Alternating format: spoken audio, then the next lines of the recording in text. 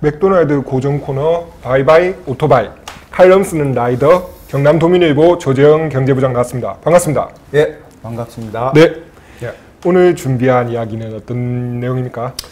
예, 어, 여러분들 다 기억하시는 그 가수 김광석 씨- 예. 김광석 가수 있죠. 예. 예.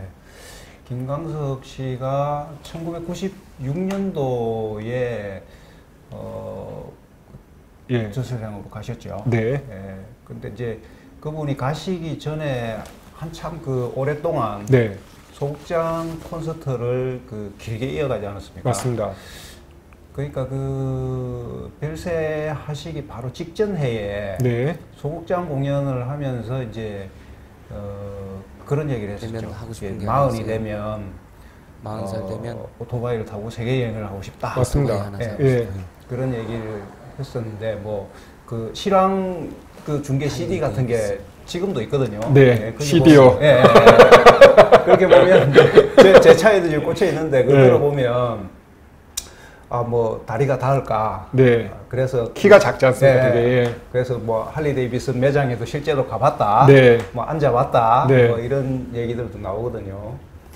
그래서 거기서 아마 그 어, 김광석 가수가 네. 그 상상을 했던 오토바이가 어떤 오토바이일까 네. 아, 그런 상상을 해봤거든요. 아, 이제 오토바이 얘기가 예, 나오네요. 예, 예. 예. 그래서 네. 그 무렵이 어, 이게 한 4, 5년 그 전쯤에 네. 나왔던 영화가 터미네이터 2. 아, 맞습니다. 예. 네.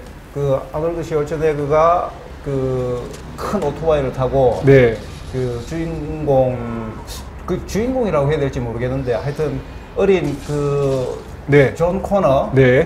구하려고 이렇게 오토바이를 타고 이렇게 높은 데서 뛰어. 뛰어내리는 그 장면 있죠. 아주 인상적인 장면. 네, 그렇죠. 그 누구나 그 영화를 본 분이면 누구나 기억하시는 장면이고 TV에도 자주 나왔던 장면인데 뭐 거의 대표적인 장면인 것 같습니다. 예, 그렇죠. 그, 요, 요 장면하고.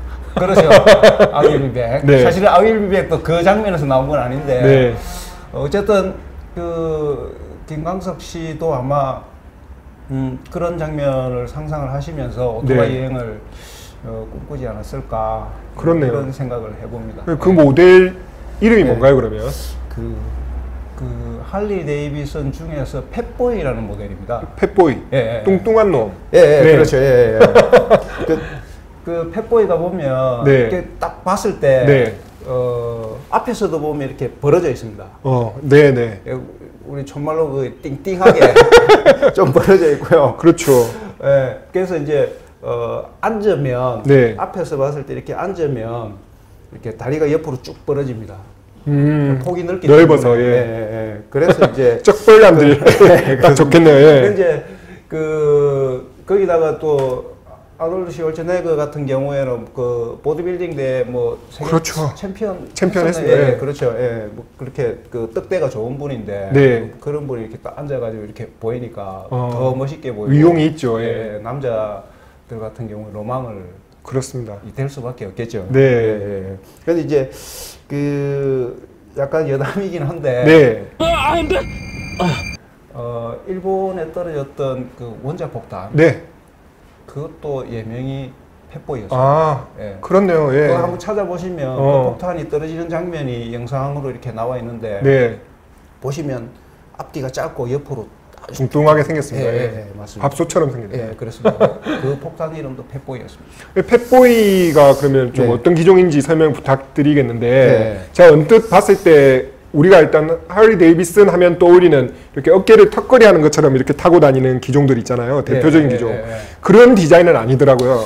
네, 그, 어, 보통 이제 그, 나올 때부터 네. 할리 데이비슨 같은 경우에는 이제 이렇게 튜닝이라고 해야 되나, 커스텀이라고 해야 되나, 이렇게 그, 네. 제품이 나온 뒤에 다시 이렇게 네. 그, 그 다른 것을 갖다 붙이거나 아, 바꾸거나 예. 이렇게 해서 꾸미는 음. 그런 기종으로 이제 보통 인식이 되어 있는데 네. 핸들은 처음부터 그렇게 이렇게 턱걸이 하는 것처럼 이렇게 나오지 않거든요. 아 그렇군요. 예, 펴- 보통 나올 때는 이제 아주 편한 모습으로 아, 이렇게 나오는데 그 튜닝이네요, 튜닝. 그렇죠. 예. 네. 핸들을 바꿔 달고 이렇게 하는 건데 네. 어, 펫보이 같은 경우에는 이제 아까 말씀드린 것처럼 옆으로 넓은 대신 무게 중심이 낮습니다. 네. 그 어, 안장의 높이도 낮고요. 음. 어, 그래서 이제 보기보다 그 안정감 있는 네. 예, 그런 기종입니다. 네. 뭐 김광석 씨가 아까 예. 키가 작아도 예. 탈만한 예. 이 영화 보면 이제 아까 말씀하셨지만 이렇게 예. 쿵 뛰내리는 장면이 있잖아요. 예, 그렇죠. 거기서 봐도 좀 확실하게 진짜 잘 넘어지지 않게는 네. 생겼습니다. 네. 그 저는 그 장면이 예. 물론 뭐 그 영화적인 어떤 요소를 삽입을 했겠지만 네. 와, 그게 저게 실제로 가능할까라는 아, 생각도 아. 사실은 하기는 했습니다. 워낙 그, 그 네. 육중한 무게를 가지고 그렇죠. 있는 오토바이이기 네. 때문에 거기다가 사람까지도 육중하니까, 않습니까? 예. 그래서 저게 실질적으로 가능할까라는 이런 생각이 들기도 들기도 하기도 했습니다. 예. 그 영화에 나오는 기종이 네. 대, 대략 배기량이 어느 정도 되나요? 아, 배기량이 그 지금 나오는 것 같은 경우에는 네. 어, 1700cc 이렇게 준중형 차 정도의 배기량을 가지고 그렇네요. 있는데 예. 그때 당시에는 아마 어, 1991년도, 92년도 네. 그, 때 모델이었기 때문에 에, 1340cc 어, 뭐 대략 뭐 그 정도였을 걸로 추정이 됩니다. 뭐 우리 보는 오토바이라 해봤자 일단 50cc부터 시작해가지고 웬만 타고 다니면 한 125cc 이 정도인데 뭐. 천 단위 넘어가면은 예, 대형이죠 대형. 예, 할리 데이비슨 같은 경우에는 최근에 이제 젊은 분들을 끌어들이기 위해서 750cc가 나오기는 하는데 네. 그 전까지만 해도 어, 스포스터 계열 883이라고 해가지고 음. 883cc가 가장 작은 그레이드였어요. 네. 그러니까 그게 가장 작은 그레이드였고 대부분 그 이상 배기량을 가지고 있는 그 모델들이 이렇게 라인업을 갖추고 있거든요. 그렇네요. 예. 디자인 보면은 예. 뒷바퀴가 유난히 두껍습니다. 예, 예, 아까 그렇습니다. 뚱뚱한 예. 모델이라고 했는데 예. 그게 어 이제 보통 뒤태가 빵빵하면 예. 이게 사- 박력 있게 그렇게 아, 느껴지거든요. 무- 그래서 맞습니다. 이제, 예. 어 현- 지금 나오는 펫보이 같은 경우에는 뒷바퀴가 원래 뒷, 그 펫보이가 할리 데이비슨 계열 중에서 뒷바퀴가 원래 좀 큰 편인데 네. 현재 나오는 것 같은 경우에는 제가 찾아보니까 뒷바퀴 폭이 네. 폭이 240mm로 나왔습니다. 차보다 좀 크지 않나요? 그? 그렇죠. 제가 그 투싼이라는 그 SUV 타고 다니는데 제 차 아, 둘산. 둘산. 네. 알겠습니다. 그차 바퀴가 네. 폭이 225mm거든요. 아, 그거보다 그- 예. 그러니까 제 차 바퀴보다 오토바이 바퀴가 더 두껍다는. 그러니까 그렇네요. 뒤에서 보면 아주 빵빵하게 보이겠죠. 예. 이 오토바이 기종 같은 경우에는 얼마 주면 네. 살수 있습니까? 어 가격은 네.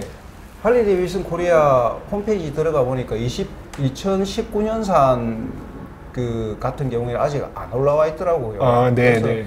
찾아보니까 2018년산이 어 2,800만 원. 2,800만 원. 예, 2,800만 원 정도로 되어 있더라고요. 그래서 이제 네. 이게 사실 이제 미국에서 사면 그 한 2천만 원대 초반 아. 뭐 대략 그 정도로 아마 살 수 있는 걸로 저는 알고 있는데 네. 이게 이제 한국으로 건너오면 뭐 물류비 그렇죠. 그다음에 뭐 통관 심사비 그다음에 우리나라 환경 기준치에 맞춰야 되기 때문에 음. 환경 검사 네. 뭐 이런 걸 거쳐야 되고요. 나중에 이제 AS 그러네요. 해주는 그런 비용들까지 다 포함이 돼 있는 거거든요. 아. 그래서 많이 비싸집니다. 예. 그렇네요. 거기 국산 중형차 중에 예. 되게 고급 트림 정도 값은 되네요. 그렇죠. 이게 네. 이제 어, 2,800만 원이면 그 그랜저 하위 트림이나 네. 뭐 소나타 상위 트림 네. 음, 그 정도는 되는 정도가 되겠죠. 그렇네요. 예, 예. 그러니까 그 보통 오토바이 타는 사람, 큰 오토바이 타는 분들이 오토바이만 타지는 않거든요. 그렇죠. 그래서 승용차 가지고 있고 오토바이 가지고 있으니까 네. 큰 차 두 대 가지고 있는 격이 되는 거죠. 맞습니다. 예, 예. 예. 하, 요즘 그러고 보니까 유난히 요즘 그 오토바이가 딱 부각되는 영화들이 많잖아요. 예, 예. 예, 오토바이 주제가 굳이 딱 아니더라도 스타들이 사랑하는 오토바이나 또 영화에서 유난히 그 돋보이는 오토바이 예. 기종들이 있으면은 예. 소개해주면 그것도 재밌겠네요. 지난번에 그 인디안 세상에서 그렇죠. 가장 예, 빠른 예. 인디언도 그랬었고 앞으로 그런 내용 가끔씩 한번 또 부탁드릴게요. 네. 아마 어, 이후로 뭐 준비하게 되는 것들 중에 네. 그, 그 시청자분들이 많이 알고 계시는 뭐 모터사이클 다이어리 네. 체 게바라가 맞습니다. 네. 그런 오토바이라든지 뭐 이런 것들도 좀 소개를 할 수 있도록 그렇게 아, 준비를 해보고 기대하겠습니다. 예. 예, 지금까지 경남 도민일보 조재영 경제부장이었습니다. 고맙습니다. 감사합니다. 시청자 참여 코너 해피밀입니다. 먼저 휴방 소식부터 전하겠습니다. 내일 편집 1호기 휴가입니다. 방송 하루 쉬겠습니다. 어, 대신 그 내일 맥도날드 페이스북 페이지에서 느닷없이 깜짝 이벤트를 진행할 수도 있습니다. 저희 이벤트가 아시다시피 참가자가 아주 적고요. 그 다음에 상품은 좀 쏠쏠합니다. 그래서 이게 가성비가 굉장히 높은 이벤트입니다. 그리고 조금 페이스북 들여다보시다가 뭐가 뜨거들랑 잽싸게 참여를 하십시오. 이메일 맥골뱅이 아이도민닷컴 그리고 맥도날드 페이스북 페이지로 늘 소통합니다. 맥도날드를 볼 수 있는 유튜브 경남 도민일보 페이지 구독도 부탁드리겠습니다. 맥도날드 37회 마칩니다. 고맙습니다. 지역 시사 흐름의 맥을 도민일보가 날로 전해드립니다. 빠밤빰빰빰 맥도날드